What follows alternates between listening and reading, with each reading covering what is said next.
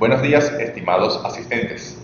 Antes que nada quisiera dar las gracias a los organizadores del evento por permitirme estar acá con ustedes en una nueva edición del BioBen, venciendo las barreras de la distancia y aprovechando las ventajas de la tecnología y contribuir con el avance de la ingeniería biomédica en mi país. En esta oportunidad, mi charla está enfocada en un fenómeno fisiológico que ha ganado aceptación en los últimos años, la variabilidad de la frecuencia cardíaca, y en particular me enfocaré en las técnicas temporales, frecuenciales y no lineales para analizarla. El cuerpo humano funciona gracias a señales de origen eléctrico, químico y acústico, que transportan información oculta en su estructura. Esta información debe ser extraída, o sea, decodificada, de la señal respectiva, ya sea de manera manual o usando técnicas de procesamiento digital de señales para que tenga un significado. El procesamiento digital de señales biomédicas y el aprendizaje automático han permitido, entre otras cosas, mejorar la precisión de las mediciones, ayudar a caracterizar y comprender las señales y los procesos fisiológicos, separar el proceso fisiológico deseado de otros procesos observados, reducir el tamaño de los archivos y facilitar la transferencia de información. Además, han sido aplicados con éxito en el diagnóstico de patologías a partir del análisis de la información de señales que reflejan la función de uno o varios órganos y en la terapia automatizada al modificar el comportamiento de un proceso fisiológico, por ejemplo, como lo hace un marcapasos. Para desarrollar métodos de análisis de señales y sistemas, extraer información clínicamente útil y tomar o sugerir decisiones adecuadas, es fundamental conocer la fisiología del cuerpo humano. En esta presentación se analiza el fenómeno conocido como variabilidad de la frecuencia cardíaca, o BFC, a partir de técnicas en los dominios del tiempo y de la frecuencia, y técnicas no lineales. Para ello, en primer lugar, se presentan los fundamentos básicos de la señal electrocardiográfica y luego se presenta el análisis de la BFC usando los enfoques mencionados. Empecemos con los fundamentos básicos de la señal electrocardiográfica. La célula está rodeada de una membrana plasmática, compuesta de capas lipídicas con poca capacidad para conducir una corriente eléctrica, pero permeable a ciertas sustancias que pasan del interior al exterior de la célula a través de diferentes canales. En reposo, una célula no envía señal, pero cuando la célula envía información por el axón lejos del cuerpo celular, se genera un potencial de acción debido al intercambio de iones a través de la membrana celular. De esta manera, a nivel celular, la información es transmitida electroquímicamente, ya que la señal eléctrica es el resultado de procesos químicos. Una vez producido un potencial de acción, la célula debe esperar un cierto tiempo, periodo refractario se llama este tiempo, para volver a ser excitables, imponiendo así un límite superior a la frecuencia en la que los potenciales de acción pueden ser transmitidos. El potencial de acción se desplaza a través del desencadenamiento de nuevos potenciales de acción en células adyacentes y debido al periodo refractario se aleja de las células recientemente excitadas y continúa hasta que el voltaje es insuficiente para producir un potencial de acción. El ciclo cardíaco se genera en un conjunto de células situadas en la parte superior de la aurícula derecha, denominadas nódulo sinoauricular.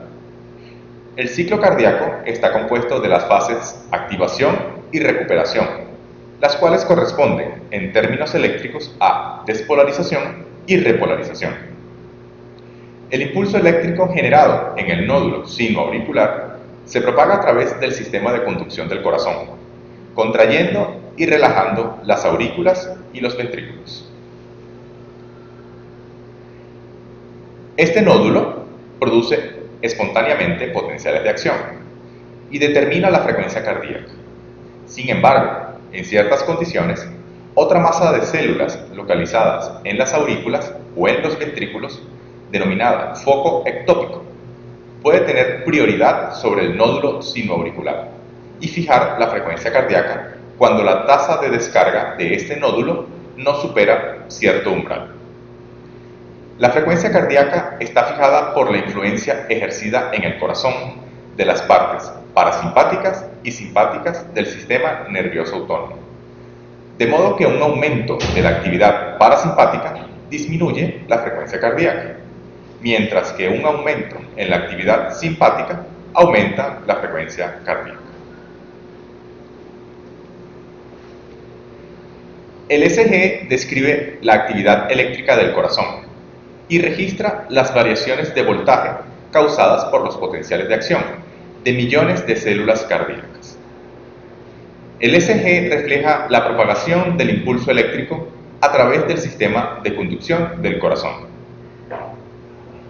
En este GIF podemos observar cómo es el proceso de despolarización y de repolarización de las aurículas y los ventrículos cuando el impulso eléctrico, o sea, el potencial de acción, se propaga a, se propaga a través del sistema de conducción.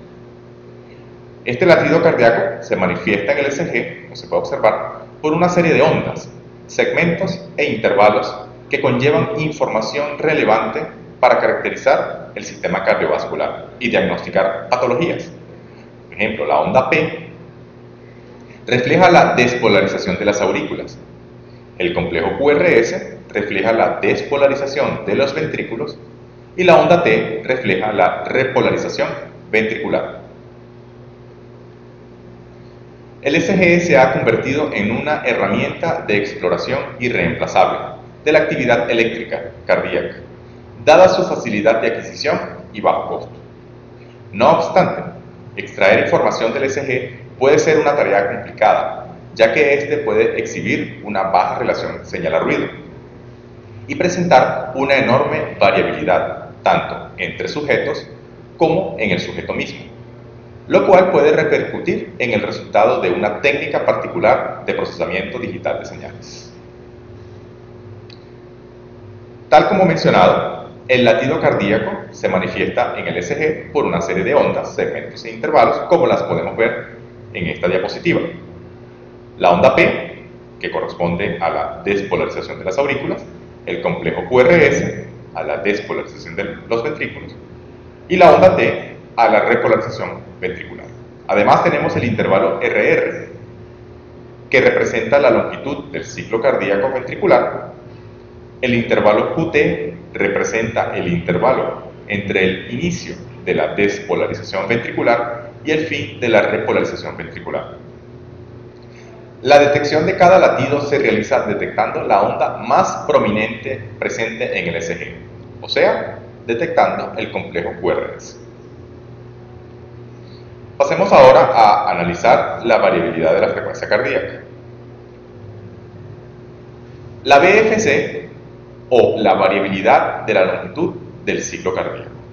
Este es un fenómeno fisiológico de variación en el intervalo de tiempo entre latidos cardíacos o sea, es la variación en el intervalo latido a latido. En esta diapositiva podemos observar el intervalo RR. La variabilidad de la frecuencia cardíaca está relacionada con este intervalo RR, como se puede observar en la figura de abajo. Es una serie de tiempo que contiene la diferencia sucesiva de ondas R. La variabilidad de la frecuencia cardíaca es una técnica de análisis no invasiva utilizada para evaluar el estado del sistema nervioso autónomo. Esta permite evaluar el balance entre el sistema nervioso simpático, eh, caracterizado por respuestas de lucha y huida, y el sistema nervioso parasimpático, caracterizada con respuestas de descanso y de digestión. La variabilidad de la frecuencia cardíaca está determinada por muchos factores, incluyendo la edad, el sexo, medicamentos, entre otras cosas. En esta diapositiva, en esta figura, podemos observar en la parte de arriba la variabilidad de la frecuencia cardíaca de una persona que está contenta. Se va a observar que tiene una forma tipo sinusoidal, con una amplia variabilidad. En la parte de abajo podemos observar la variabilidad de la frecuencia cardíaca de una persona que está estresada. Se va a observar una baja variabilidad en el intervalo R. La falta de sueño, la ansiedad y el dolor se refleja en una baja variabilidad de la frecuencia cardíaca, como la que se observa en la parte de abajo. Mientras que una alta variabilidad de la frecuencia cardíaca es un signo de buena salud, de autorregulación y de resiliencia general. No obstante, a medida que envejecemos, la variabilidad de la frecuencia cardíaca se reduce. La BFC ha sido utilizada en varios campos, por ejemplo, en la estratificación del riesgo de muerte súbita cardíaca posterior a un infarto agudo de miocardio, para proporcionar un signo de alerta temprana de la neuropatía diabética. Como indicador del síndrome metabólico, es un trabajo que se realizó en, colaboración con la Universidad Simón Bolívar y se presentó en un congreso la semana pasada y voy a explicar una parte de este trabajo al final de la presentación. En el ejercicio físico también como una medida de, eh, de desempeño del deporte, entre otras más. La BFC se deriva del estudio de la serie de tiempo de intervalos RR, luego de la correcta alineación del instante de ocurrencia de la onda R en el ECG y la exclusión de los intervalos RR anormales o atípicos, producidos por falsas detecciones o detecciones fallidas del detector de complejo QRS o por latidos ectópicos que interrumpen las fluctuaciones de la frecuencia cardíaca modulada por cambios del balance autonómico. La serie de intervalos resultantes de la exclusión se denomina intervalos normales anormales o intervalos NN. En esta figura se puede observar en la parte izquierda una serie RR que contiene muchos muchas eh, extrasístoles, también se les llaman artefactos, o eh, también puede ser debida a falsas detecciones del detector. En la parte derecha se puede observar la misma serie luego de que estos artefactos han sido excluidos. Esta es la serie de tiempo que se va a analizar utilizando las tres técnicas que se van a describir en esta presentación. En general, las técnicas para el análisis de la BFC pueden desglosarse en métricas estadísticas en el dominio del tiempo métricas basadas en la potencia en ciertas bandas espectrales de frecuencia y métricas no lineales basadas en la teoría del caos y la complejidad. La mayoría de las métricas se calculan en registros de corta duración, alrededor de 5 minutos, o en registros de larga duración, generalmente Holter de 24 horas. Pasemos a analizar ahora las técnicas de la BFC en el dominio del tiempo.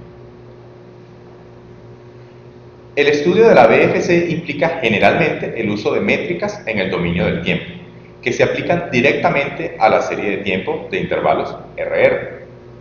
Una consideración importante es si la métrica debe reflejar la BFC de largo o corto plazo, de manera de representar la información relacionada principalmente con la actividad parasimpática o simpática respectivamente. Las métricas más evidentes es el promedio de los intervalos RR, como se puede observar acá en la primera fila. La desviación estándar de los intervalos NN disponibles, o sea, la SDNN, que se muestra en la tercera fila, refleja la variación global dentro de la serie RR, tanto a corto como a largo plazo. Por otro lado, la desviación estándar de los intervalos NN calculados en segmentos sucesivos de 5 minutos, o sea, SDANN, que se muestra en la cuarta fila, refleja variaciones circadianas muy lentas de la frecuencia cardíaca. SDANN y SDNN requieren registros de larga duración. Para estudiar la variabilidad a corto plazo, se utiliza como indicadores la raíz cuadrática media de las diferencias sucesivas de intervalos NN, o sea, RMSSD, que se observa en la antepenúltima fila, y la proporción de intervalos que difieren de más de 50 milisegundos del intervalo anterior, o sea, PNN 50. RMSSD proporciona una descripción más detallada de la variabilidad a corto plazo, pero PNN 50 es menos vulnerable a los artefactos. Esta operación de diferencia de RMSSD lo que hace es acentuar el contenido de alta frecuencia de la serie de intervalos NN.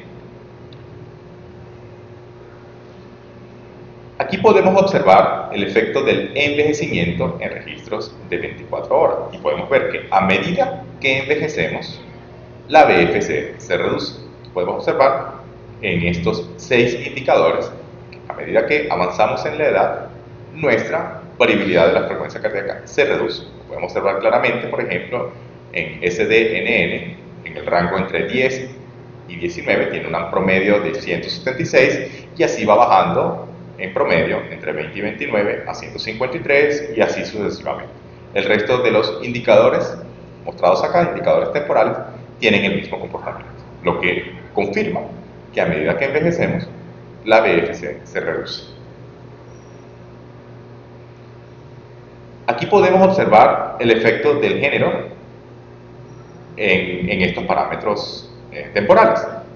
Podemos observar que los hombres tienen una mayor variabilidad de la frecuencia cardíaca que las mujeres en general, en todos estos seis indicadores que se muestran acá. Pasemos ahora a analizar las técnicas en el dominio de la frecuencia. El análisis espectral de la BFC ha permitido observar y cuantificar componentes periódicos embebidos en el ritmo cardíaco, como picos del espectro de potencia. En sujetos sanos, la variabilidad espontánea de la frecuencia cardíaca durante el reposo suele presentar un comportamiento oscilatorio, influenciado por la actividad respiratoria, la presión arterial y los mecanismos de retroalimentación para regulación de la temperatura. El más prominente de estos componentes se debe a la arritmia sinusal respiratoria esta es una oscilación de alta frecuencia, o sea, HF, entre 0,15 y 0,4 Hz, relacionada con las fases de la respiración. La frecuencia cardíaca aumenta con la inspiración y disminuye con la expiración. Esta componente es mediada casi exclusivamente por la actividad parasimpática del nodo sinoauricular. Otro componente está relacionado con la presión sanguínea, esta es una oscilación de baja frecuencia, o sea, LF, entre 0.04 y 0.15 Hz. Esta es considerada de origen simpático y parasimpático. La actividad en frecuencias inferiores a LF es menos conocida, pero parece estar relacionada con la actividad miogénica, la actividad física y las variaciones circadianas. Dado que las oscilaciones son poco pronunciadas, y los picos en el espectro de frecuencia son algunas veces indistinguibles, se cuantifica en su lugar la potencia en las bandas de frecuencias LF y HF. Así que un aumento de la potencia en LF se asocia con un aumento de la actividad simpática. Un aumento de la potencia en HF se asocia con un aumento de la actividad parasimpática y la relación entre estas dos medidas de potencia espectral, o sea, LF sobre HF, se ha considerado como un indicador del equilibrio autonómico. Acá podemos observar un análisis espectral, un espectro de potencia de una persona cuando está acostada en reposo y luego cuando se somete a una inclinación en una prueba de tilt. Se puede observar igualmente en la parte de abajo la potencia total. El círculo del lado izquierdo es mucho mayor que el círculo del lado derecho. Se puede observar claramente los dos picos, en HF y en LF, en las dos eh, pruebas. Sin embargo, en reposo, si observamos el círculo de abajo, vemos que la relación LF sobre HF es casi igual a 1. Cuando la persona se inclina en la prueba de TIP, la componente de LF aumenta sin embargo, la potencia disminuye y esto se puede observar claramente como el pico de, LF, el pico en el rango entre 0.04 y 0.15, aumenta. Las métricas en el dominio de la frecuencia se obtienen del espectro de potencia de la serie de intervalos RR, o mejor dicho, de intervalos NN, estimado usando técnicas no paramétricas como el periodograma de Welsh o técnicas paramétricas como un modelo autorregresivo, por ejemplo, de orden 16. Antes de la estimación del espectro de potencia, la serie de intervalos NN debe ser convertida usando técnicas de interpolación en una serie de tiempo muestreada de manera equidistante a una frecuencia de muestreo generalmente de 2 o 4 Hz. Los latidos ectópicos deben ser eliminados, ya que además de violar la condición de estacionariedad del análisis espectral, provocan un aumento falso de la potencia espectral a lo largo de todo el intervalo de frecuencias. Aquí podemos observar la diferencia en el análisis espectral usando las técnicas paramétricas y no paramétricas. En la parte de arriba podemos observar el intervalo RR. Se encuentran 256 intervalos RR, que corresponde a una persona en reposo acostada y luego una persona en, eh, inclinada en, en, la cama en una prueba de tilt. Podemos observar en la parte del medio el espectro eh, estimado usando un modelo autorregresivo de orden 9, 9, y en la parte de abajo el espectro usando la transformada de Fourier con una ventana de Hamming. Se puede observar que el espectro con el modelo autorregresivo es mucho más suavizado. Igualmente podemos observar diferencias, si observamos en detalle, lo pueden revisar en el artículo, se pueden observar diferencias en las potencias totales para los dos casos. Igualmente se pueden observar diferencias en la posición de los picos. Sin embargo, ambas eh, métricas están bastante similares. En el caso de registros de corta duración en, en sujetos humanos normales, el espectro se divide en la banda de muy baja frecuencia, o sea, BLF, de 0 a 0.04 Hz, LF de 0.04 a 0.15 y HF de 0.15 a 0.4. Aquí podemos observar en esta tabla los parámetros. Se calcula la potencia total en el rango de frecuencia, la potencia en esas bandas, BLF, LF y HF, y además se calcula una potencia normalizada, que también es muy utilizada, LF norm y, HF norm, y la relación LF sobre HF. En el caso de registros de larga duración, o sea, de holters de 24 horas, además de las bandas LF y HF, se divide la banda se, define una nueva banda, la banda de ultra baja frecuencia, o sea, de ULF, entre 0 y 0.003 Hz.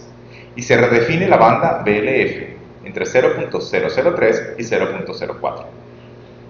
Las métricas son equivalentes a las métricas en el registro de corta duración, pero se incluye además la pendiente de la interpolación lineal del espectro en una escala logarítmica.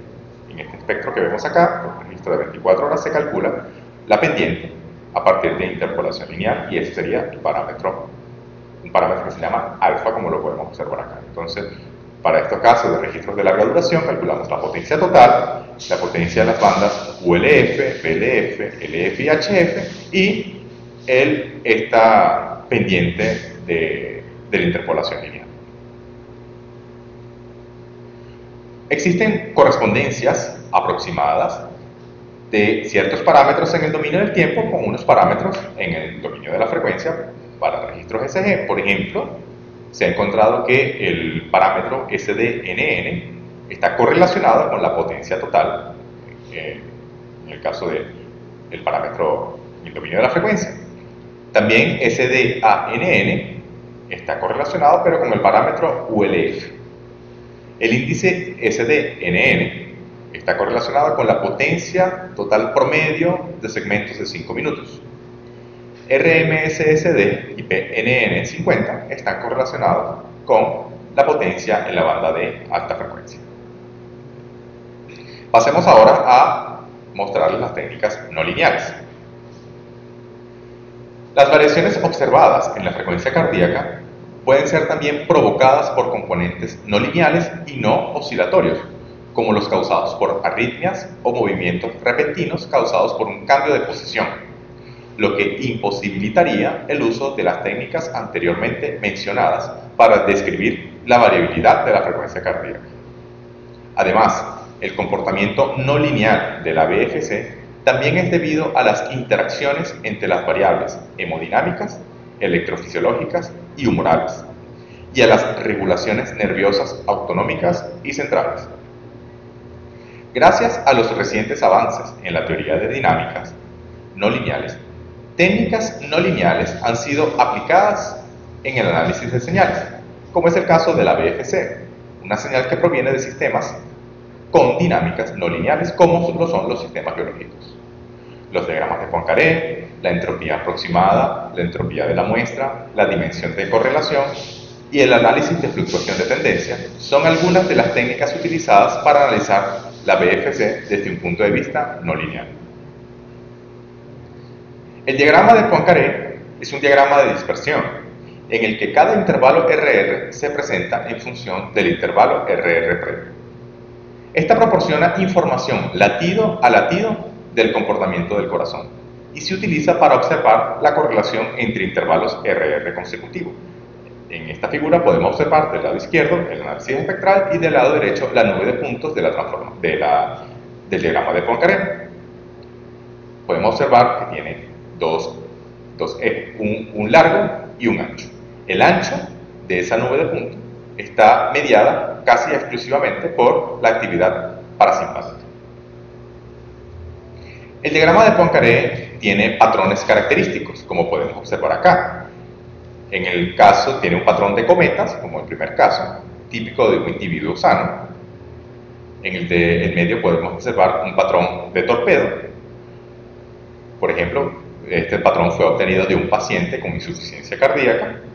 Y un patrón complejo, como se ve acá, un paciente también con insuficiencia cardíaca. Entonces, estos patrones han permitido caracterizar diferentes patologías y eh, realizar un diagnóstico certero de algunas de ellas. La forma de la gráfica se analiza cuantitativamente ajustando una elipse a los datos, o sea, a la nube de puntos. Aquí podemos observar la nube de puntos se ajusta una elipse y se calculan dos indicadores del diagrama de Poincaré, SD1 y SD2. SD1 es la dispersión, o sea, la desviación estándar de los puntos perpendiculares al eje de la línea de identidad, esta línea que vemos aquí en diagonal. SD2 describe la dispersión de los puntos a lo largo del eje de la línea de identidad. SD1 está relacionado con la variabilidad a corto plazo, mientras que SD2, SD2 está relacionado con la variabilidad a largo plazo. La entropía aproximada es una medida de la complejidad de un sistema. Esta está estrechamente relacionada con la entropía, una medida de la tasa de producción de información. La entropía aproximada busca segmentos similares en la serie de tiempos, donde los segmentos frecuentes y similares conducen a valores bajos de entropía aproximada y reflejan un alto grado de regularidad, o sea, predictibilidad. La entropía se ha encontrado que la entropía aproximada es menor a lo esperado en registros de corta duración. Para suplir esta debilidad, se ha desarrollado la entropía de la muestra, en donde en su algoritmo se evita la comparación de segmentos similares consigo mismo dentro del cálculo de la probabilidad. De esta manera tenemos que la entropía aproximada, al igual que la entropía, eh, entropía de la muestra, al igual que la entropía aproximada, mide la complejidad del sistema. Sin embargo, la entropía de la muestra es independiente a la longitud de la serie de tiempo y muestra una alta coherencia en circunstancias en las que la entropía aproximada no lo hace. La dimensión de correlación es utilizada para medir la complejidad de los datos también. Además, proporciona información sobre el número mínimo de variables dinámicas necesarias para modelar el sistema subyacente.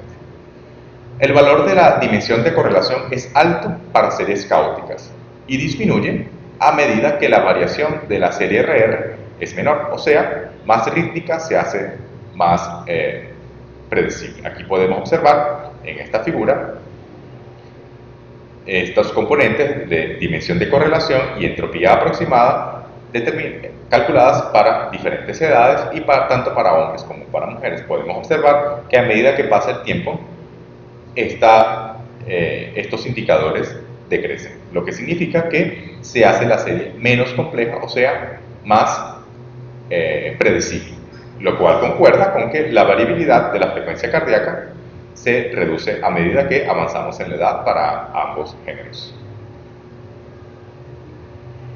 El análisis de fluctuación de tendencias, o sea, DFA, mide las correlaciones dentro de la serie RR para distintas escalas de tiempo. Para ello, se determina la fluctuación de la media cuadrática de la serie RR integrada y sin tendencia para diferentes ventanas de observación y se representa en función del tamaño de la ventana de observación en una escala log-log. Las correlaciones se caracterizan por las pendientes del gráfico log-log, como podemos observar acá, y se, dividen en fluctuaciones a corto plazo, corto plazo donde las correlaciones están determinadas en un rango entre 4 y 16 latidos, y correlaciones a largo plazo, alfa 2, que mide fluctuaciones, eh, tiene, toma en cuenta correlaciones en el rango entre 16 y 64 latidos.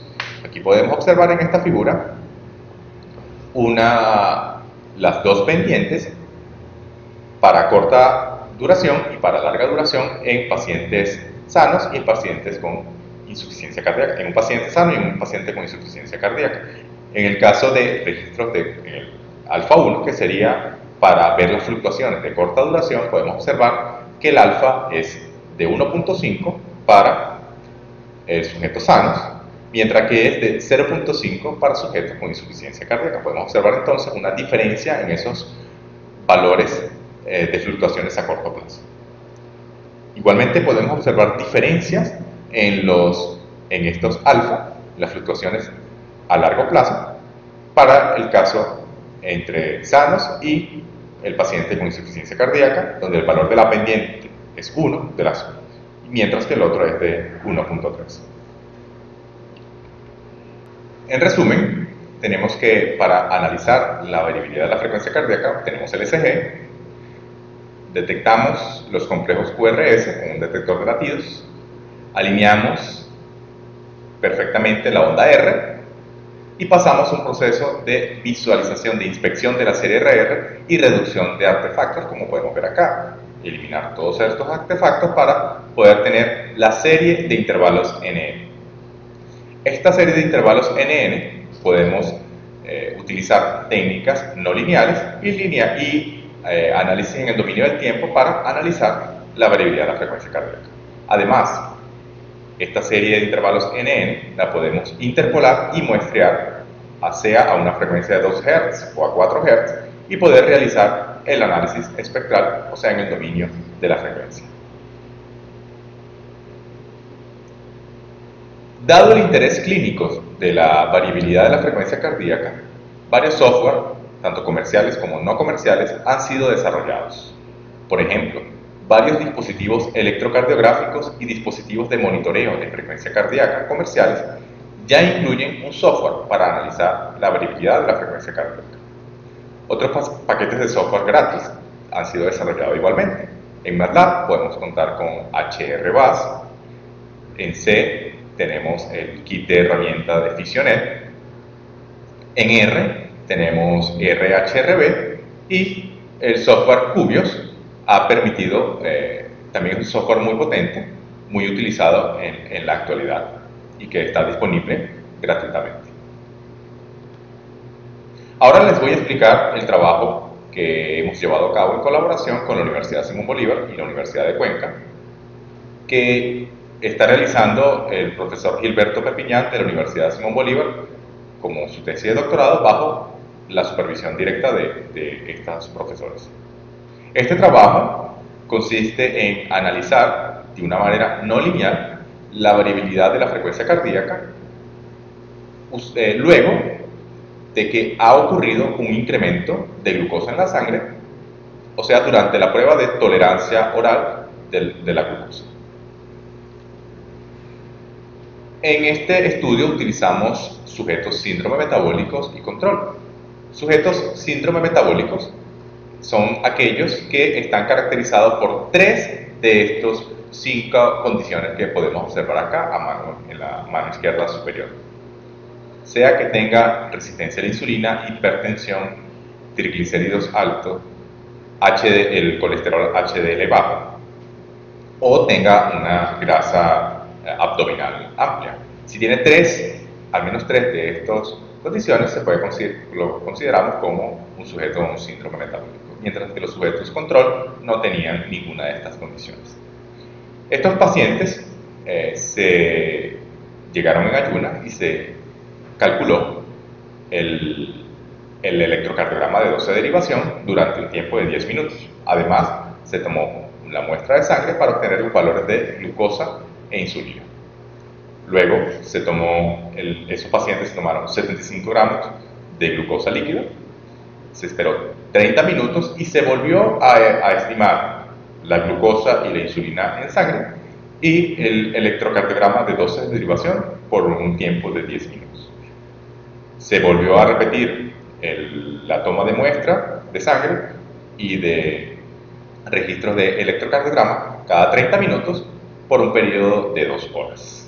Aquí podemos observar en la parte del medio una serie RR, utilizamos el software Cubios que les acabo de mostrar, de, de mencionar, para analizar, para obtener los indicadores no lineales. Entonces aquí tenemos una serie RR en la parte en la, en la, figura del medio, en la fila de arriba, y en la fila de abajo es la misma serie RR, solamente que se ha eliminado la tendencia, con el fin de eliminar esas oscilaciones de muy baja frecuencia. En la parte derecha podemos observar los box plot de esos pacientes, en la parte de arriba para el caso de la entropía aproximada y en el caso de abajo para el componente alfa 1 del eh, DFA. Se puede observar, nosotros observamos en el caso de arriba de los box plot que los sujetos con eh, síndrome metabólico la entropía aproximada disminuye para el caso de 30 y 60 minutos puede observar claramente allí. ¿Qué quiere decir esto? Que como la entropía aproximada mide la complejidad. O sea, nosotros vimos que una respuesta metabólica se podía ver en una respuesta cardiovascular. Al, al verse afectado, la, eh, la, la, serie de tiempo se volvió más eh, predecible. O sea, su complejidad se redujo. Eso lo pudimos observar nosotros y ese fue el trabajo que presentamos eh, la semana pasada en Francia. Entonces, como conclusión, el análisis de la BFC ha permitido caracterizar diversas poblaciones y encontrar indicadores que permitan diagnosticar y explicar una gran cantidad de patologías que se reflejan en el sistema cardiovascular. Además, el estudio de la BFC ha permitido analizar el balance entre las ramas simpáticas y parasimpáticas del sistema nervioso autónomo y estudiar la modulación autonómica sobre el nodo sinoauricular. Acá se han presentado algunas métricas derivadas de técnicas en el dominio del tiempo, métricas estadísticas de la serie RR, en el dominio de la frecuencia, análisis espectral de la serie de latidos normales y anormales, y técnicas no lineales derivadas de la teoría de sistemas dinámicos no lineales.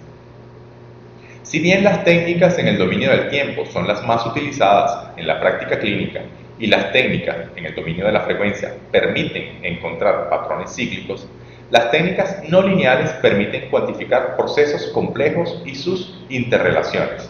No obstante, su utilidad como indicadores de riesgo aún no está completamente aceptada.